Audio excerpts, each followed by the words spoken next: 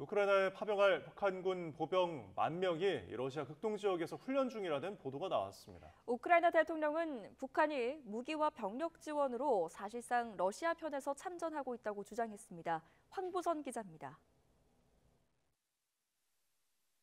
우크라이나 접경 러시아 극동 지역에서 북한 보병 만 명이 훈련 중이다. 현지 시간 16일 우크라이나 영자지 기사 제목입니다.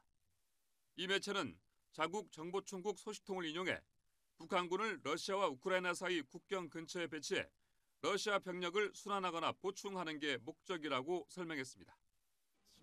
전날 보도에서는 북한군 3천 명이 러시아 제11 공수돌격여단 내 특별대대 편성 중이다. 북한이 무기뿐 아니라 대규모 병력 지원에 나섰다고 전했습니다. 볼로디미르 젤렌스키 우크라이나 대통령은 의회 연설에서 북한 병력이 투입됐다는 사실을 자국 정보기관을 통해서 확인했다고 말했습니다. 전쟁에서 숨진 러시아인을 북한 인력이 대신하는 상황이라며 이는 북한이 러시아 편에서 사실상 전쟁에 참여하는 것이라고 주장했습니다. Це робітники для російських заводів замість убитих на війні громадян Росії і особовий склад для російської армії. 북대서양 조약기구 나토는 이런 우크라이나 측 주장에 현 단계에서는 관련 보도를 확인할 수 없으나 심히 우려스럽다는 점은 분명하다고 밝혔습니다. 미국 기조에 맞춰서 사실 여부 확인 등 관련 언급을 삼간 채 신중함을 유지하는 모습입니다.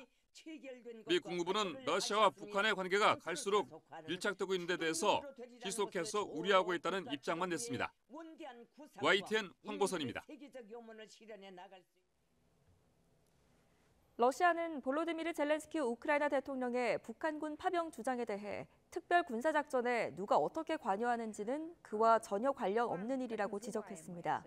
마리아 자하로바 외- 러시아 외무부 대변인은 현지 시간 16일 브리핑에서 우크라이나 정권은 언급해야 할 것을 언급하는 게 좋을 것이라며 이같이 말했습니다.